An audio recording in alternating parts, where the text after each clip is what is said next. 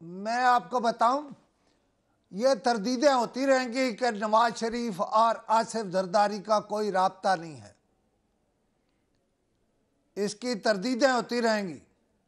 لیکن ہوگا یہ کہ اگر میں موجود ہوں اور میرا فون ہے تو اس پہ کال آئے گی اور نواز شریف سے بات ہو جائے گی اور ختم، اور دونوں تردید بھی کر سکیں گے۔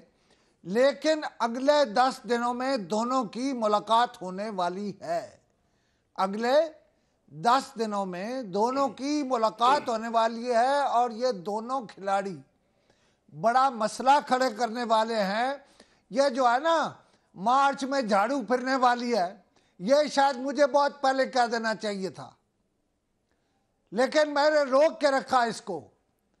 کیونکہ ایک وہ ارادہ ہے جو آپ کا ہے، جو منصوبے بنانے والوں کا ہے۔ اور ایک میرے اللہ کا ہے اور ارادے ہمیشہ اللہ کے کامیاب ہوتے ہیں۔